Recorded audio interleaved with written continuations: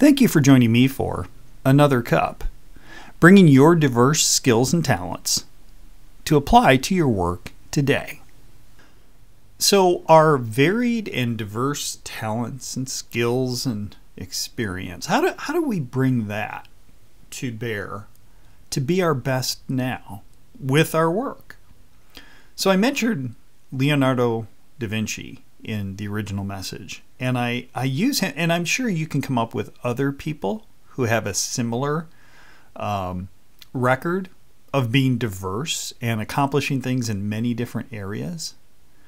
But I usually use him as an example of how I would like to vary the things that I experience, the things that I take on, the people that I meet.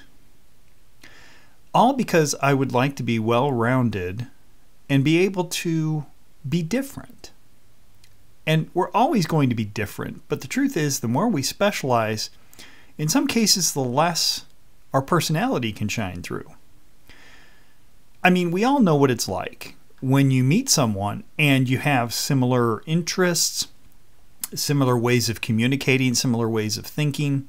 It's awesome. You can sit with them and talk for hours and you really, really enjoy it because what you're doing is you're reinforcing something they see in you and you see in them because you agree on those things. What if we had the same type of enthusiasm and interest in talking with people completely different than we are?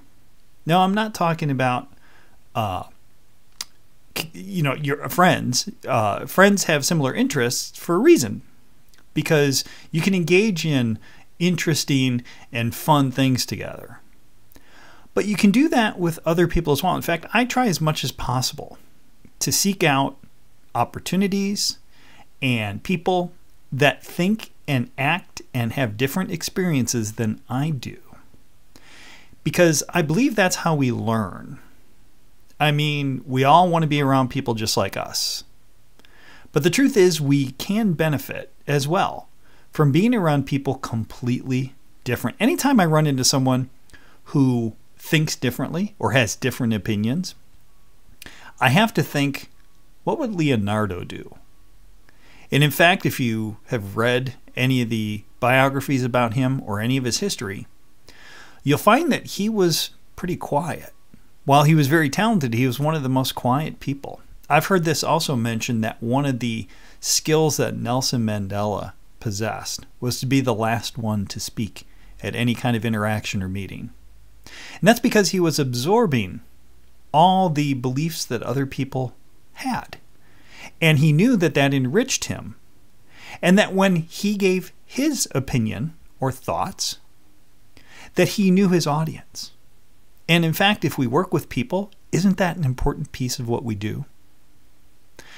The other thing that happens is when we form thoughts and whether it's a presentation or a story that you want to tell, really what we're doing is we're piecing together a narrative. And the more and varied and different things we can pull into that narrative, the more people will appeal to. Don't get me wrong, if I know I'm dealing with a controlling personality, I know how to interact with that person. That being said, if you're dealing with a group of people, you want to appeal to all of them, or at least most of them. And so when you can bring in experiences and stories and things that you've exposed yourself to that are different, that has great value. In fact, it's one of those things that we may not enjoy all the time, but the truth is, if we value it, it has a purpose. I know that, and I draw a lot of analogies to nutrition because I believe nutrition reflects a lot of other things in the world and in our lives. It's just a mirror for where we are. The truth is that biologically, and physiologically, our bodies respond to a diversity of diet. It may not be the easiest thing, but it is the most rewarding thing when our Our nutrition is varied. We uh, ingest uh, and eat lots of different foods. And in fact, your taste buds will grow accustomed based on the different things that we eat. You can learn to appreciate different foods and different things. I face this battle with my kids constantly because I understand and I enjoy lots of different types of foods and cultures and and and my kids are kind of set in their ways. And I try every chance I get to expose them. And we should do this for ourselves. Expose ourselves to different ways of thinking, different cultures, different d- different experiences. Because what that does is it it creates another dimension to our own story. And in reality, if you sell or you're working with people or you're managing projects, what you're really doing with every activity and everything you do is telling your story, infusing a part of you in everything that you do, because that's what makes us unique. If anybody could do it, well, then are you able to use your abilities as best you can? But the truth is, there's more than one road to success and more than one way to do it, and you have to find your own.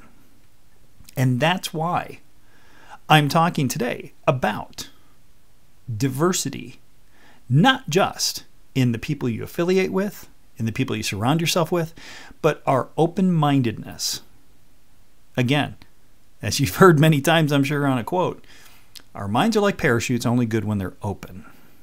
And that includes being open to different ways of doing things, including those that you've taken on in the past. Can you go back and find times when you did something that you thought was useless or you've forgotten about? Think about those times and draw from it what you can because it makes you you. Now, inevitably, it's going to show up somehow if it was important and, and foundational to who you are and who you're becoming. But also seek out new opportunities to talk with people, to travel, to, to broaden your own horizons. Never stop trying to do that because it will add an extra dimension to you, to your work, and to the people that you can impact through both. Thank you for joining me for another cup bringing your diverse skills and talents to apply to your work today.